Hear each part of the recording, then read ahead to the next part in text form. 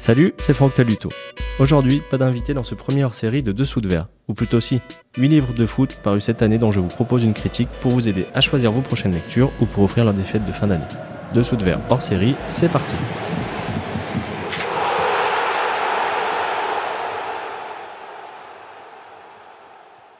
Je vais commencer par trois livres qui concernent plus particulièrement la Saint-Étienne.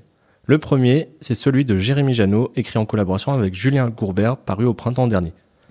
L'ancien gardien stéphanois y raconte son parcours en détail, son enfance à Valenciennes avec une mère courageuse mais sans père, un père qu'il croisait parfois sans que cela aille plus loin, jusqu'au jour où, après un match à Lille avec les Verts, il apprend de sa bouche l'existence de ses deux demi-sœurs.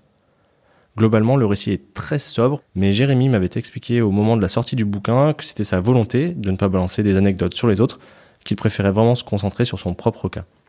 Et même pour moi qui suis de près l'AS Saint-Etienne et ses joueurs, euh, il y a quand même pas mal de choses à apprendre. Par exemple, les deux graves blessures qui auraient pu l'empêcher de faire carrière, euh, l'environnement presque hostile à son arrivée au centre de formation, ou encore euh, l'importance de son beau-père qui est décédé depuis et auquel il rend hommage au fil des pages. Sans filet, c'est aux éditions Marabout et ça coûte 17,90€.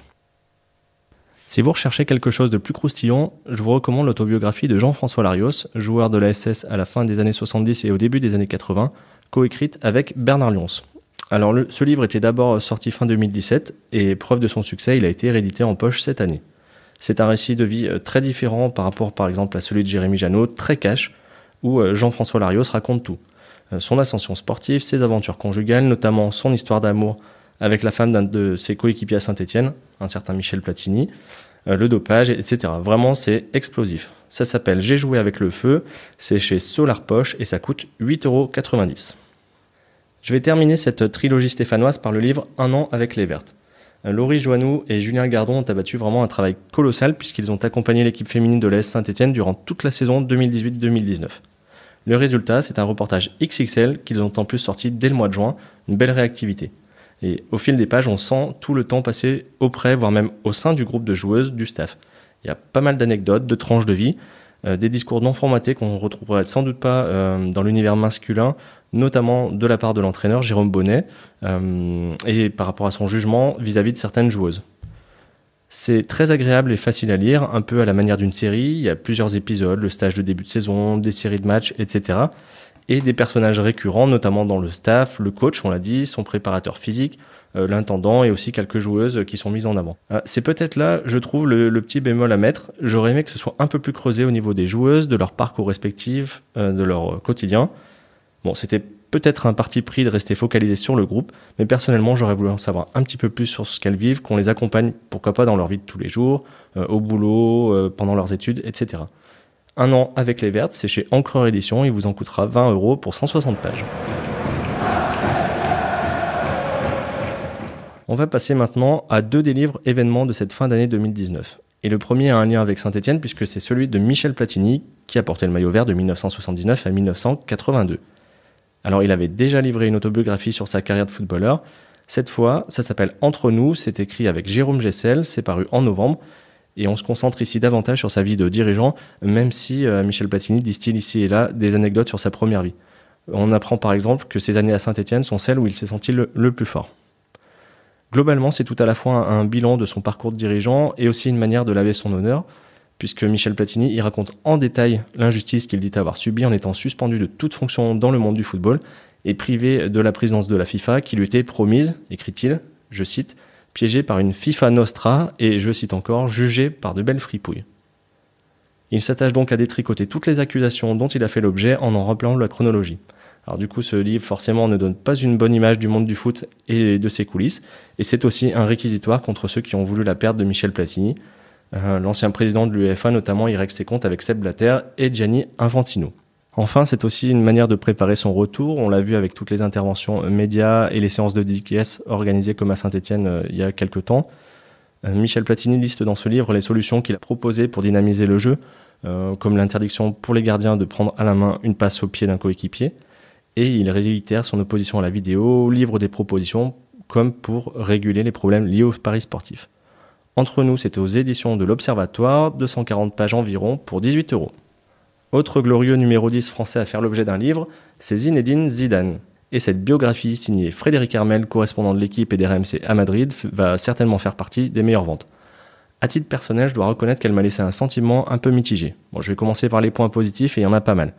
Déjà, je trouve que c'est bien écrit, très agréable à lire avec une construction en, chapitres assez courts et pas mal de références culturelles. Et puis ça reste avant tout quand même une belle histoire française avec quantité d'anecdotes et des témoignages, euh, parmi lesquels ceux des adjoints de Zizou au Real, euh, Christophe Dugarry ou encore Carlo Ancelotti. Euh, tout y est, peut-être juste la polémique sur la prise de créatine et un possible dopage organisé à la Juventus qui n'est pas mentionné. En revanche, le livre évoque bien les accès de violence, les cartons rouges reçus en tant que joueur, la relation avec Raymond Domenech ou l'engagement en faveur du Qatar pour la Coupe du Monde 2022.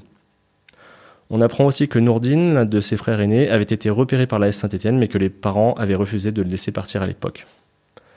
Au fil des pages, on sent toute l'affection que Fred Hermel porte à celui qu'il appelle un vrai mec bien. Ce que j'ai moins aimé justement, c'est que par rapport à une biographie très factuelle, comme peut l'être euh, celle de N'Golo Conté dont je vous parlerai tout à l'heure, c'est qu'on a ici davantage à faire un recueil de souvenirs communs. Voilà, les premiers échanges, la rencontre assez froide de Fred Hermel avec Véronique Zidane, l'échange avec le père, la tradition d'offrir un cierge avant chaque finale de Ligue des Champions, euh, les échanges sur WhatsApp, etc. Mais bon, c'est d'ailleurs un parti pris que le journaliste revendique dans les interviews qu'il a données pour faire la promotion du bouquin. Personnellement, je préfère quand l'auteur reste un peu plus effacé. Ça n'engage évidemment que moi et le livre n'en reste pas moins très intéressant à bien des égards. Zidane, c'est paru chez Flammarion, 290 pages environ et ça coûte 19,90 euros. Le point commun entre Michel Platini et Zinedine Zidane, c'est d'avoir été deux immenses numéros 10.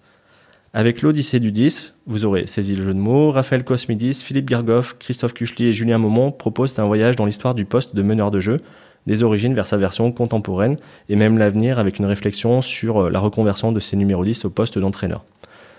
Plus qu'une disparition, ils évoquent une métamorphose. Alors, dans l'absolu, il est difficile de dresser un portrait robot du numéro 10 compte tenu des nombreux profils différents, mais on explore au fil des pages ce qui se passe sur le terrain, les qualités techniques, la vision de jeu au-dessus de la moyenne, et en dehors avec souvent des éléments charismatiques. L'Odyssée du 10 est un pavé, plus de 500 pages avec les annexes, nourri par une soixantaine de témoignages. Euh, il y a beaucoup de personnalités du football qui s'expriment. Je vais citer Mathieu Valbuena, Mathieu Bodmer, Alain Giresse, Eric Carrière, Mourad Megni, Francesco Totti, Yari Litmanen, Claude Puel, etc. Et puis il y a une ouverture avec en fin de chapitre des interviews euh, avec par exemple un chef d'orchestre, un magicien, une numérologue, et puis d'autres sportifs comme les anciens rugbyman et basketteurs Yann Delegue et Laurent Syrah. Clairement, euh, on en a pour son argent. On sent que les auteurs ont fait beaucoup de recherches, avalé beaucoup de biographies. Euh, c'est hyper riche, les passionnés apprécieront sans doute, même si c'est presque parfois le défaut de sa qualité. À être très, voire trop exhaustif, il y a parfois quelques longueurs. Ça n'en reste pas moins très intéressant et instructif avec quelque chose que j'ai apprécié, un site internet conçu en parallèle où on retrouve pas mal des vidéos de matchs ou d'actions qui sont mentionnées dans le livre. L'Odyssée du 10, c'est chez Solar et ça coûte 17,90 euros.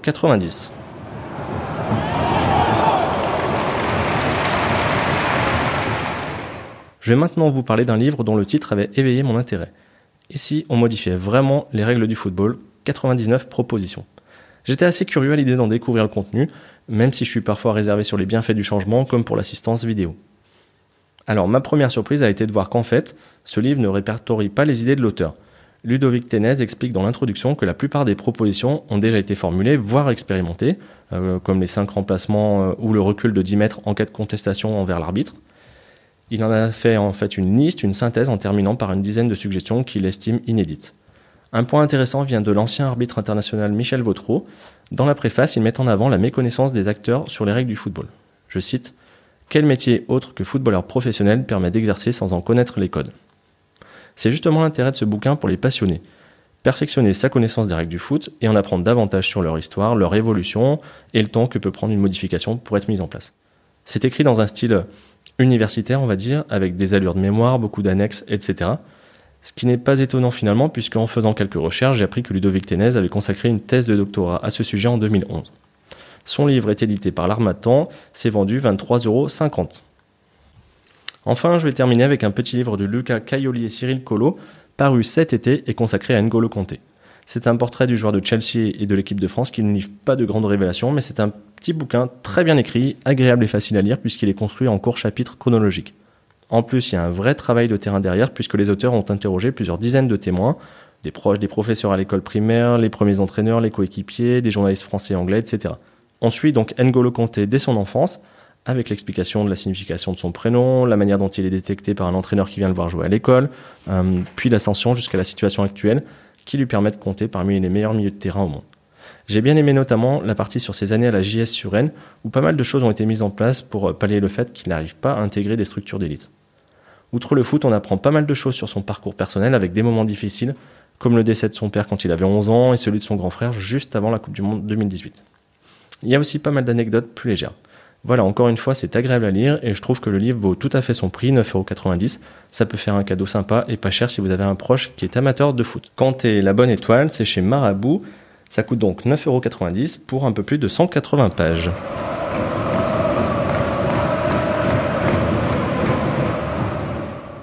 Voilà, c'est terminé. J'espère que vous aurez apprécié cette petite sélection de livres de foot et que je vous aurai peut-être aidé dans vos choix. Bonne lecture et on se retrouve très vite pour un nouveau numéro de Dessous de Verre. Ciao